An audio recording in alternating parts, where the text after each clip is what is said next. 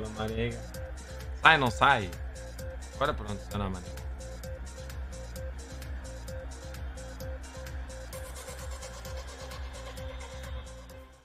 Sexta-feira, dia 16 de julho, à altura de falarmos aqui um bocadinho de mercado. Antes de começarmos, só duas notinhas. Primeiro, eh, pedir desculpa, né? porque hoje, eh, naturalmente, o podcast está a sair um bocadinho mais tarde. Eh, e quando eu digo um bocadinho, é um bocadinho até significativo. Eh, posso explicar muito rapidamente. Consegui Ah. finalmente ir até à praia. Ah!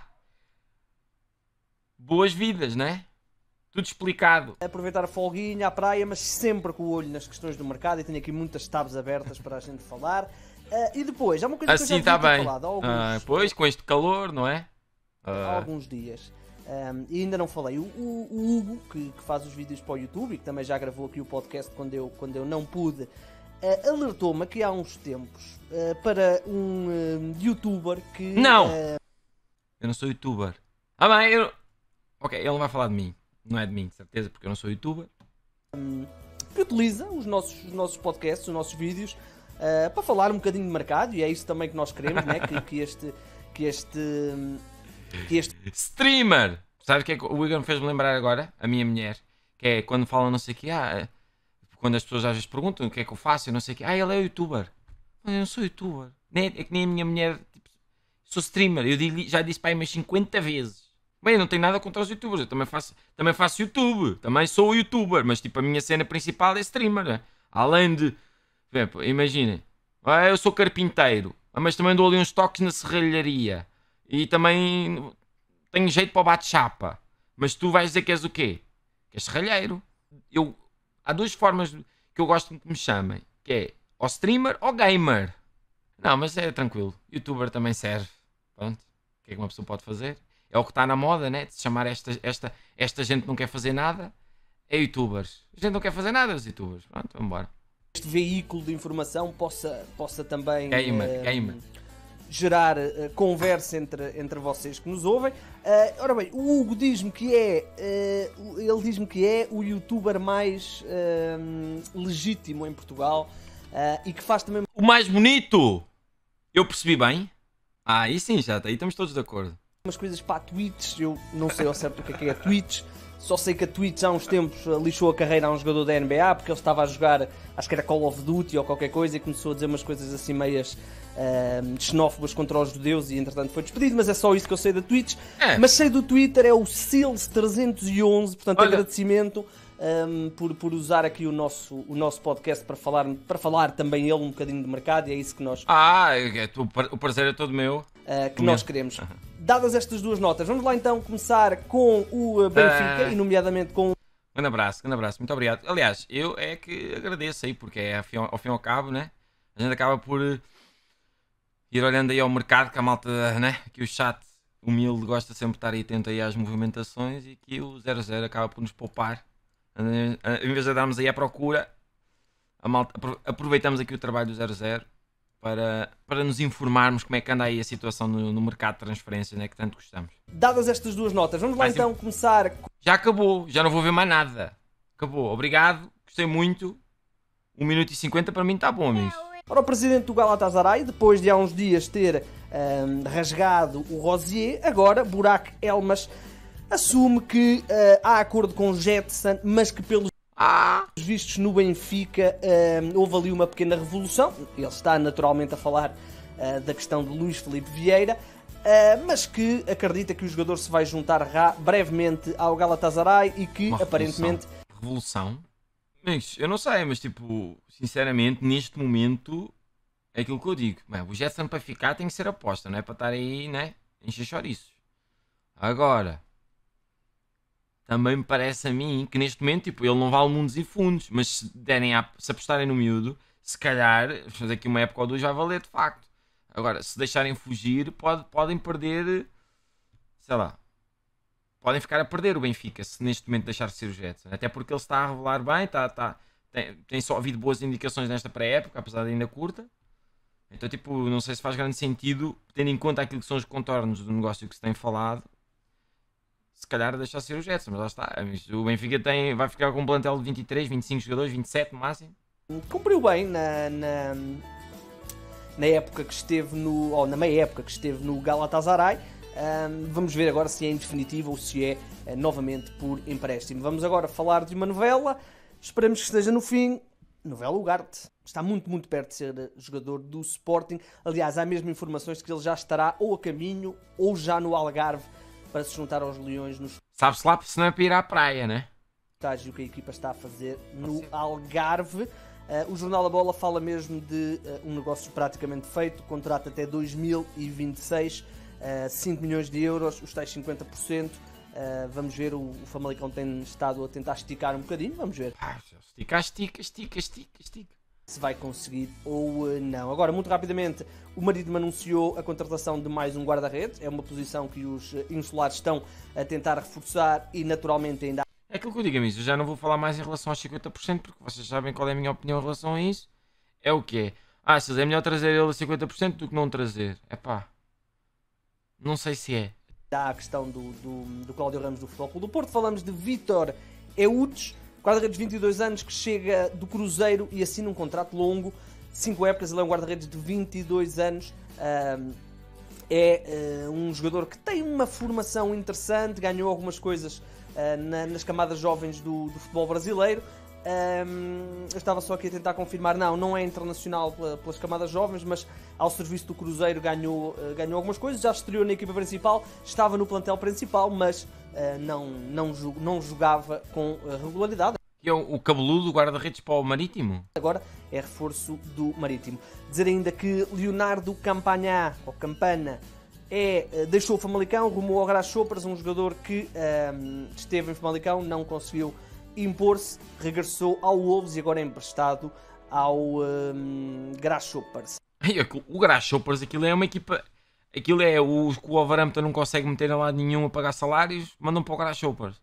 Eu estive a treinar o Wolverhampton e aquilo é unha e carne. Dizer ainda que o Tondela tem um novo defesa central, o Tondela que uh, tem um plantel ainda um bocadinho uh, por, por construir. Uh, falamos de Manu Hernando, defesa central de 22 anos, que estava no Real Madrid B, um jogador que fez formação no, no Real Madrid e agora é uh, o terceiro reforço da equipa do uh, Tondela, depois do Tiago Dantas e do Daniel dos Anjos. Ele, só dizer que este Manu Hernando no ano passado fez apenas 15 jogos porque teve uma lesão gravíssima, uma ruptura lateral no, no ligamento interno do joelho direito, foi operado e assinou por dois anos com o Tondela. Dizer também que Denner uma das figuras do Portimonense, deixou o Portimonense. Aos 29 anos é reforço do Altaí.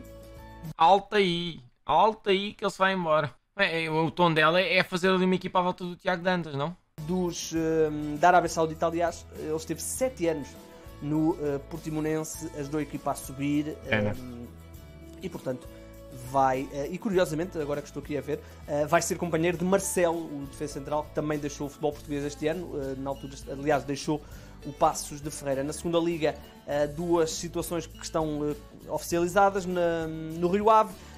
Jonathan Luiz, o guarda-redes emprestado pelo Vitória de Guimarães e Pedro Mendes, emprestado pelo Sporting. São dois jogadores que estão oficiais na equipa de Luís Freire na segunda liga. Lá é o Rio Ave, confirma-se ontem, ontem, não, ontem, ontem, ontem falámos aqui do Pedro Mendes, falámos, falava-se da, da, possibilidade do Pedro Mendes ir para o Rio Ave e confirmou-se mesmo, né? É, é, acho que pode ser uma boa oportunidade para o Pedro Mendes, de facto, dar o estouro. O Rio Ave é uma equipa que vai, com tudo, com a certeza, né, ser o, o principal candidato a subir. Isto será, isto, isso é o que é esperado, né? Mas depois não sabe como é que as coisas vão correr, né? não, não, não há certezas, não há, não há nenhumas, mas de facto, assim, à partida, aquilo que podemos tentar antecipar é que o Rio Ave deve ser uma das equipas mais fortes e que vai lutar pela, pela subida e nesse registro Pedro Mendes, sendo o ponta-lança da equipa, tem, vai ter uma boa visibilidade, conseguir ajudar a equipa a subir divisão.